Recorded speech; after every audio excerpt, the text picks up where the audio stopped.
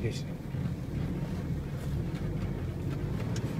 this entire village has been decimated by this incredible earthquake here. There's not a one house that's standing here.